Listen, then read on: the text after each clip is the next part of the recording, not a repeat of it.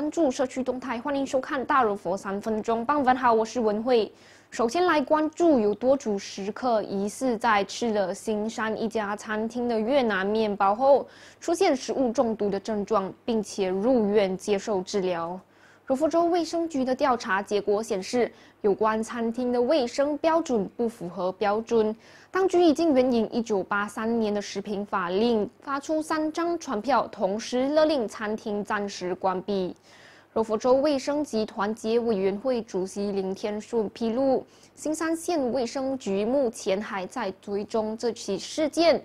根据新闻背景，有网民将食物中毒的情况上载到脸书后，引起一番热议。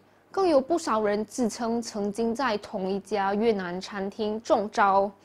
根据市都兰区州议员曾家恩所接获的投诉，至今有三组共八人出现不适症状。事发后，业者也已经暂停售卖相关的面包还有猪肉。并联络和安慰受影响者。接着下来，政府放宽防疫标准作业程序以后，柔佛州今年的手足口症病例暴增，截至第十八个星期已经达到六百四十宗，同比去年的九十四宗来说，增加了六点八倍。根据本报记者了解，为免手足口症现象恶化。柔佛州各县的幼儿园、托儿所还有游泳训练中心已经提高警惕和加强防疫措施。一些业者透露，他们每天检查孩童的体温至少三次，换堂后为教室消毒，也消毒和洗刷玩具。同时，他们也提醒孩童们勤洗手，并不要把手放在嘴巴里等。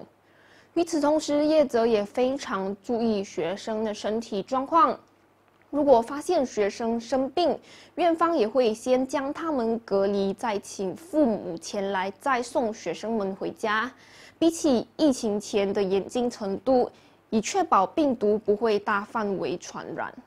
接着下来，社交媒体近日流传一则罗里司机涉嫌在公路上危险驾驶的行车记录仪短片。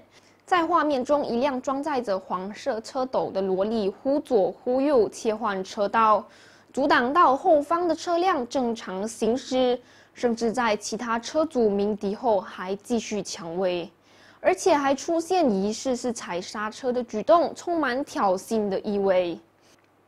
居銮景区主任刘汉生今日发表文告指出，警方已经针对上述事件展开调查。罗里车主的身份已经确认为一名本地男子，警方将会援引一九八七年陆路交通法令第四十二一条文鲁莽驾驶调查案件。新闻最后关注邻国的消息，新加坡出现两宗感染奥密克戎变异毒株 BA 四和一宗感染 BA 五的社区病例。根据联合早报的报道，这也是新加坡首次出现这两种变异毒株。患者在确诊后已经自我隔离。根据新加坡卫生部的文告，这三起病例都是无症状或只有轻微症状，如发烧、咳嗽、流鼻水和喉咙痛等。而三名病患的都已经完成冠病疫苗接种，也已经接种追加剂。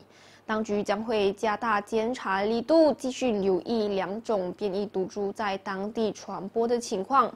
感谢收看，更多社区动态，请继续留意《新洲日报》、《新洲网》。